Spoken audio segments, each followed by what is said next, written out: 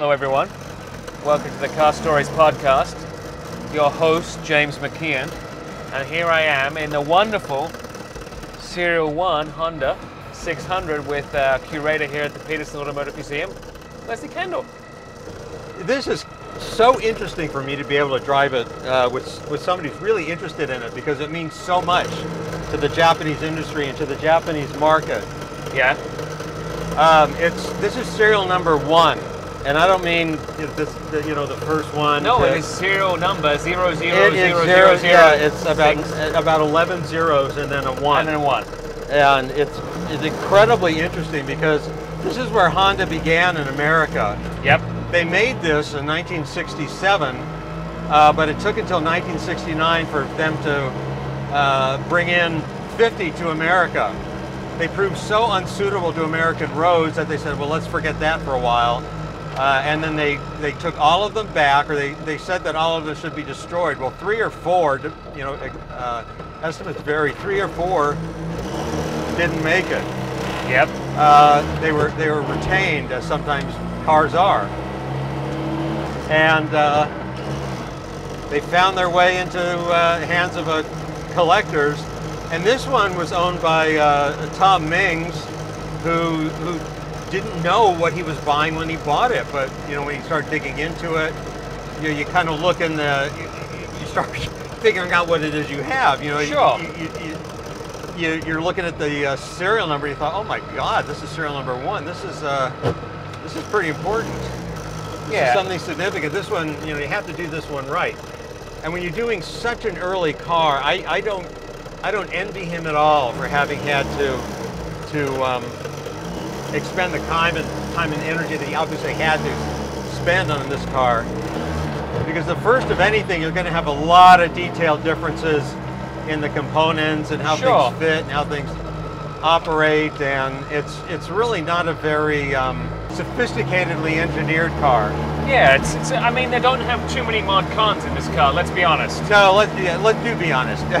We're talking about a two-cylinder, although a four-stroke, air-cooled, no fan, so it's, the, it's kind of a good thing if you can keep going. Yes. Uh, not sure how this would hold up in traffic, but my hunch is it would probably be okay. Yep. I don't think 600 cc is going to generate that much heat. But speaking of that, Leslie, I was wanting to ask you about how you managed to come to get your role with the actual the Petersen Museum. How did that come about? Um, it, it came about to my parents' great distress that uh, I was the only student truly in kindergarten who knew what a Bugatti was. Yep. And it seemed to be a fait accompli. Every report I ever did had something to do with a car. I see. Uh, and then I ended up somehow getting an MBA and was a mortgage loan officer for years and years. And I just, that was just not a very satisfying uh, line of work. And so I quit one day and I went to the San Diego Automotive Museum. I volunteered and um, ended up ended up as the uh, uh, tour guide and ended up with the curator Sure. after about six months, and then one thing led to another. I did a consultation for the Petersen, and uh, then I was hired by the see. Petersen. So I've been here for almost 25 years. And it's been a it's surely an enjoyable 25 years, and nothing has changed, obviously, in those 25 Nothing, years. nothing ever changes. It's, everything is just, just static. We're passing a Honda Civic, the modern Honda Civic, which is made with about twice the raw materials of this And one, it's twice the size. and is at least twice the size of this. And it, it looms as such a big car when you're comparing it to this. It does. A Volkswagen Bug in the day would have been a big car compared to this. A Mini would have been a big car. a Mini would have been a big car. And a Mini, funnily enough, they might give it away in the name, is not particularly a large car. And no, it's not. People think that the Minis today, well, that's about as big as they were. The earliest Minis, when they were introduced in the late 50s, were very, very small cars. Today, they just they just bear a passing resemblance, Yes. a, a- an identifiable but still passing resemblance. Yes. Now, interesting, you know, when you talk about heritage vehicles and you talk about um, retro cars, they're making this again They are. in, in in Japan. I was last time I was in Japan. Uh, I was at a stop sign and I saw them a kind of a retro modern version of one of these cars. And I'm sure it's going to be the uh, the K class of cars. Yep, I, I have no doubt. But um, so yeah, so obviously the renaissance of these cars, and there's. I will say that people do like seeing you when we're driving around in this car. They like seeing the sides because it's so quaint. Yeah, And you I- know, this car gets noticed. I, I and, and I don't mean just looked at, because there's a big difference between being noticed and being looked at. Yeah, I've driven plenty of cars that exemplify that difference. yeah, But this one gets noticed. People look at this and they know it's important, they know it's rare, they know it's clever, but they'll they don't really know about it, which is the reason that the Petersen Automotive Museum exists. We're out there to help tell people why you should be interested in this kind of car, that this car is important. You know, this car started the whole Honda automobile legacy in America. Yep. This very car, serial number one, the, the very car that we're in. yeah. And I mean, that legacy. Admittedly, obviously, this is why we talk about it being a uh, a small engine car, but it, it is, like we've said, peppy and fun, and it fits in with what Honda are making now in regards to the vehicles they're doing and what really the direction the automotive world is going.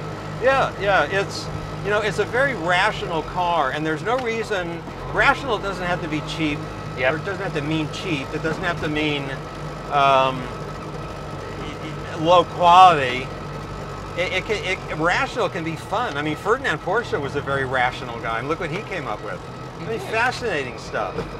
So, speaking of the museum itself, Leslie, what is, and obviously there's a very variation of cars that we have in the museum. What is, say, one or two of your favorite cars that we have in the museum and that you're really happy to secure? If I were to, tell you what my favorite cars were, I'd have to pick a different one every couple of minutes. That's not me. Because I have these, I don't know, I don't know what you'd call it, but I have these kind of like serial obsessions. Like right now, I'm absolutely obsessed with Japanese cars because we're going to present an exhibition on Japanese cars beginning in April. Yep. And we're going to have some of the rare stuff that led up to this car. And this car, this very car, is going to be in that exhibition. So, what are some of those cars that you've been chasing down for that new exhibition coming in April? Well, one of the things that I think it's important for people to understand is Japanese had a vibrant, vibrant auto industry before World War II. Yep. Even during World War II, they made, you know, electric cars because of the petroleum shortages. Sure. It was not unusual to have a Japanese electric.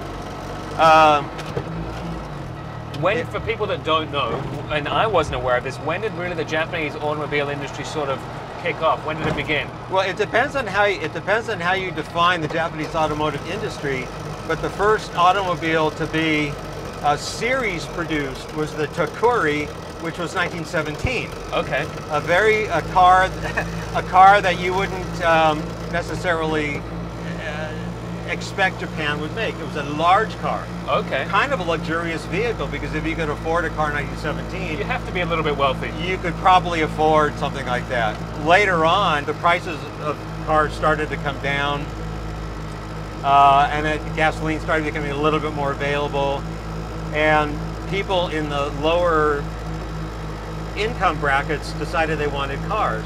So that's when they turned to small cars. Sure. And we hope to have one of the very earliest uh, series produced small cars, the Otomo, uh, in the exhibition. We're now now uh, negotiating with the museum. And so, when you go about, what's the process that would happen? For example, if you could talk us through a little bit, tell the listeners, since I'm not aware of this, what's the stage of an exhibition goes through? How does it come from an inception or an idea to then getting put into practice? And what's the sort of time frame we're looking at there Well- to go through? Well, what's a, what we do, the very first thing we do is try to determine what's important to people. Yeah. What do people want to see? What do people want to learn about? You know, and you know we've done so many unusual things. You know, we did we did a, an exhibit on travel trailers mm-hmm. and motor camping. You know, and a lot of people thought, well, who cares about that? But then when you think, wait a minute, no, Yeah. no, no. A lot of people first saw Los Angeles dragging behind them a trailer Certainly. or some other kind of camping gear. Um, but we want to talk about Japanese cars now because you have to admit they're coming into their own. Yes. It's not unusual to go to a Japanese car meet and see Japanese cars that are old enough to have grandchildren. Yep. This car next, uh, well, last year this car was 50 years old. Two days ago it was still 2017. This car is 50 years old. Although it didn't make it into America for another two years, but this car we're in is a 50 year old Japanese car.